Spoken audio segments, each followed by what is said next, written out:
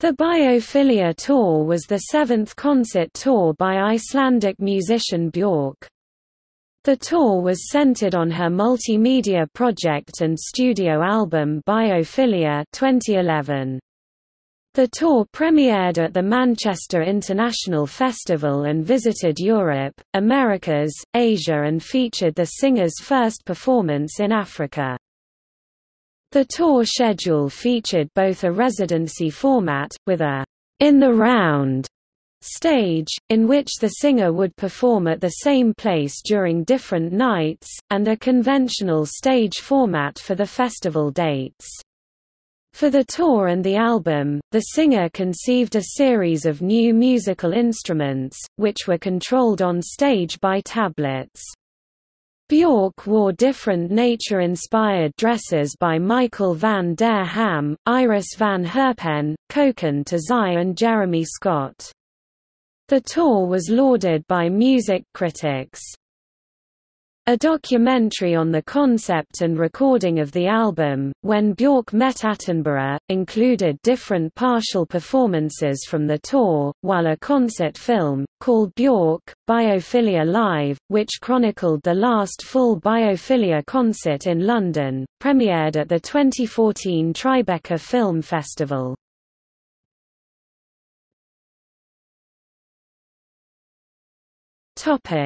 Background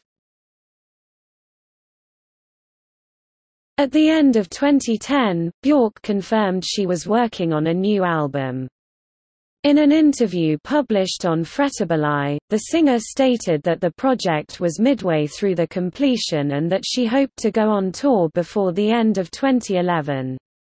Bjork originally conceived the idea for the tour as a house in Iceland where each room would represent a song from the album.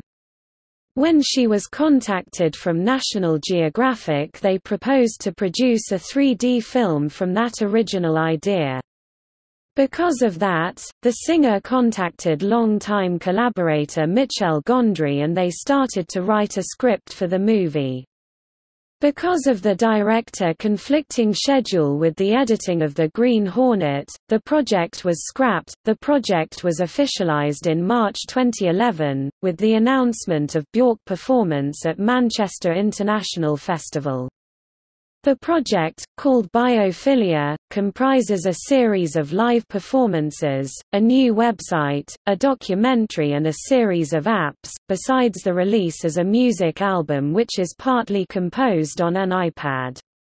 The Biophilia Tour was said to be touring eight cities for three years and to be including a series of workshops for children in collaboration with local schools. Six performances were planned for the residency in Manchester, with one show being added later and dubbed as a preview show on June 27, 2011.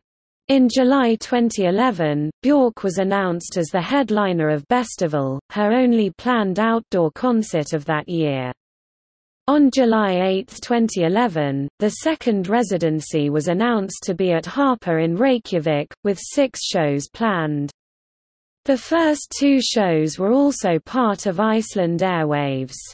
Due to high demand, two more shows were announced, with a last one being announced later. The Icelandic residency went sold out. In the beginning of 2012, the third residency was announced to take place in New York City, in partnership with the Creators Project and the New York Hall of Science, where six of the ten planned gigs were announced to take place, with the other four being at Roseland Ballroom. However, due to an illness, one show that was to take place at the Hall of Science was rescheduled and moved to the Roseland Ballroom. After the end of the residency, another one was announced at Centro de Exposiciones of Buenos Aires, with the last show taking place at the Estadio GEBA. However, due to the discovery of a nodule on her vocal cords, Bjork had to cancel the last show at the Centro de Exposiciones and the concert at the Estadio GEBA. For this reason, Bjork cancelled several festival appearances she was supposed to have during the summer of 2012. In November 2012, the singer announced that she underwent surgery to remove the nodule. The tour started again in February 2013, with the fifth residency in Paris, where four concerts took place at the Cirque en Chantier on the Île Seguin and two at the Zénith de Paris. When a fundraising project appeared on the website for the company Kickstarter, it was stated that the Biophilia Tour would visit San Francisco, Los Angeles and Tokyo as the next residencies. The California residency was announced on April 1, 2013, with three dates in Richmond, and three in Los Angeles. Once again, because of ticket requests, another date at the Hollywood Palladium was added. On May 21, 2013, the website of music promoters Smash was updated with details on the last biophilia residency at the Miraikan Museum in Tokyo, with three dates to take place at the end of July and the beginning of August. After an announcement was previewed on Bjork's official Facebook page, on June 10, 2013, the last Biophilia concert with the in round format was announced at the Alexandra Palace of London.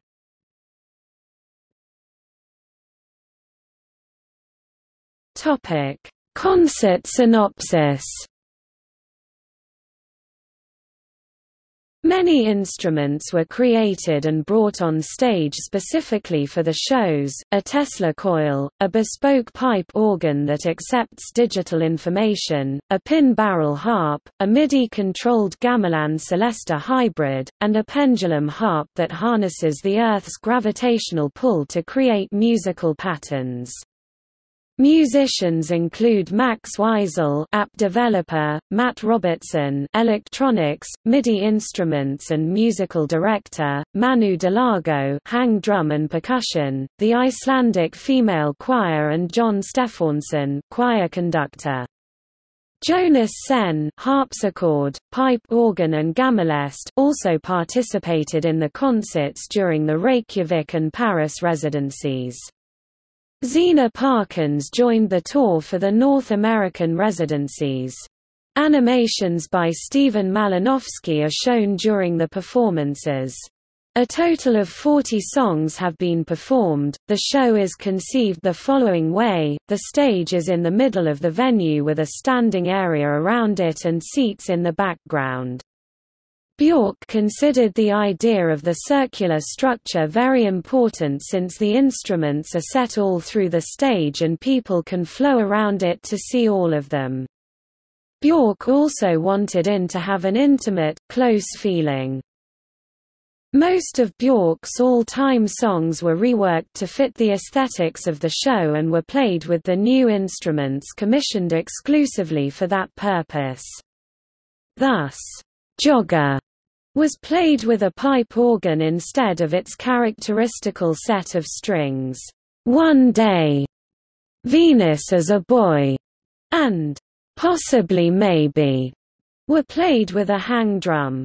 You've Been Flirting Again used a choral arrangement and Declare Independence, Pluto, Possibly Maybe, and Army of Me included the performance of a Tesla coil. During the shows in Iceland and Paris, keyboarder Jonas Sen joined to play new versions of Pleasure is All Mine on organ and Vertebrae by Vertebrae and Sacrifice on the harpsichord. Harpist Zeena Parkins joined during the American legs of the tour and also played a reworked version of sacrifice with a harp.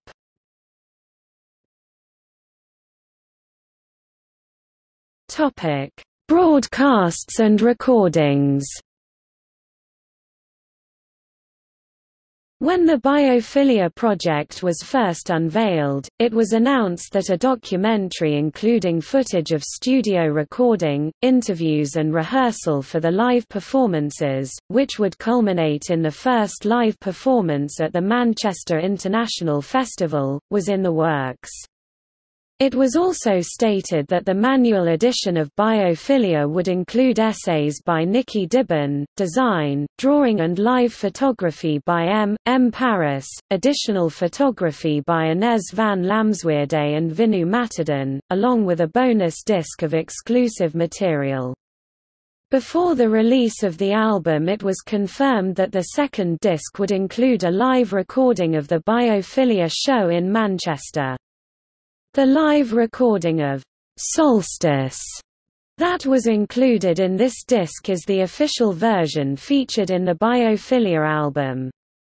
After the debut of the residency, the official website of the Manchester International Festival posted footage from the show, including snippets from Thunderbolt and Moon Another snippet from the latter performance was shown on BBC Scotland.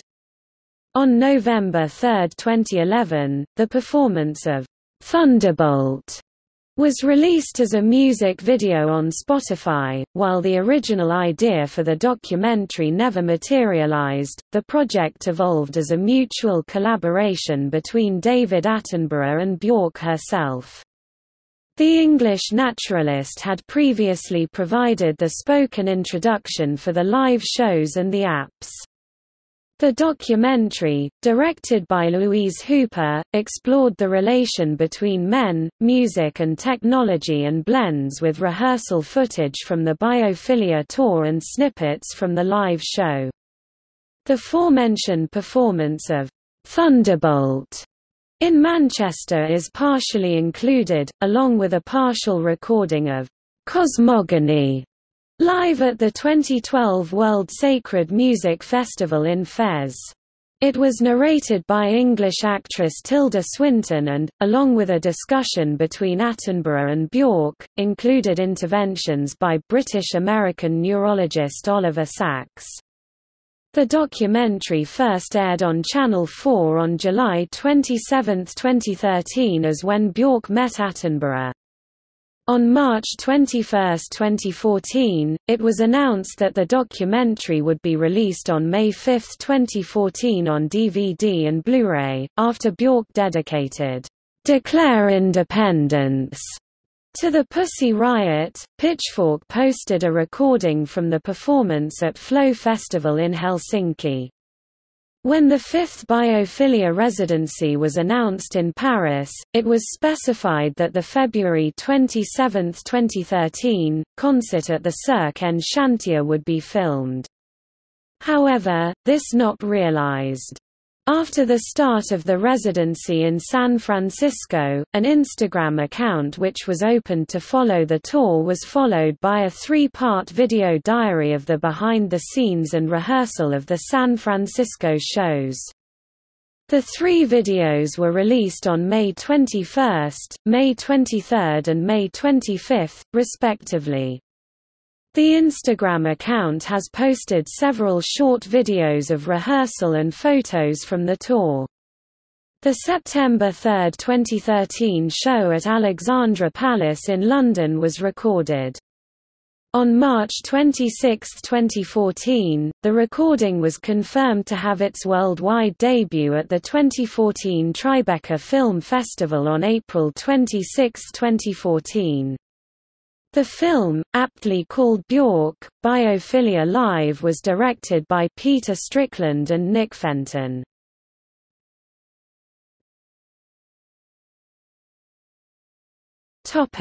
Opening acts Leila Arab Zenith de Paris concerts These New Puritans Hollywood Bowl concert Death Grips Echo Beach Concert. Mykki Blanco Echo Beach Concert. Topic. Songs performed.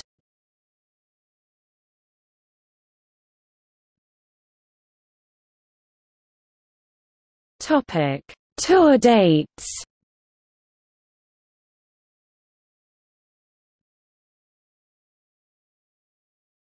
Topic: Festivals performances.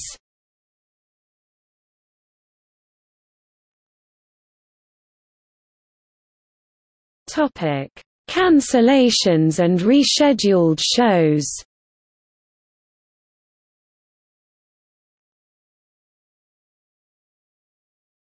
Topic: Awards and nominations.